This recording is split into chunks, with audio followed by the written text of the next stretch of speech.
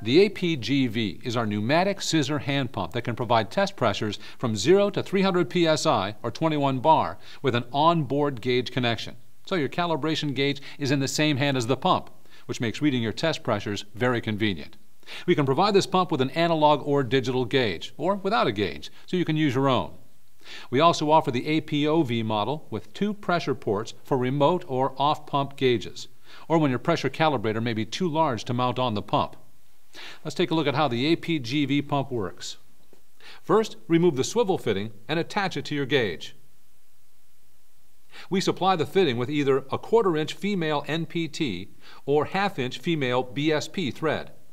If you're using NPT, use two turns of thread sealant and a crush washer or bonded seal for BSP. Grease the O-rings with silicone lubricant. Put the swivel fitting into the bore and attach with the set screw. If you're going to be swapping gauges frequently, the set screw is not necessary as it does not affect the seal.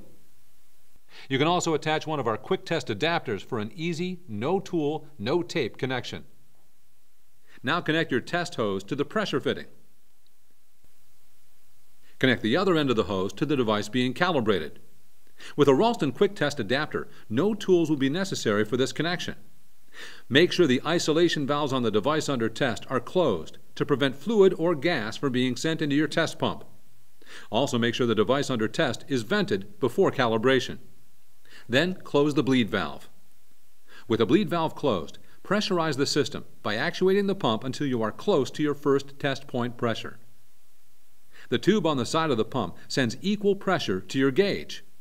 Let the system stabilize for a minute, as the air will warm under pressure and the reading may drop as it cools. Then use the vernier adjustment to change the pressure incrementally. You can use this to fine adjust up or down to achieve a precise setting. Once you reach your test point, compare the reading to the device being tested. To step down to a lower test pressure quickly, use the bleed valve on the side of the pump. Move through each test point in the same manner, pumping or bleeding the system and adjusting the vernier as necessary to achieve an exact pressure at each test point. When your test is complete, open the bleed valve and depressurize the system. Then disconnect the hose from the pump and the device under test.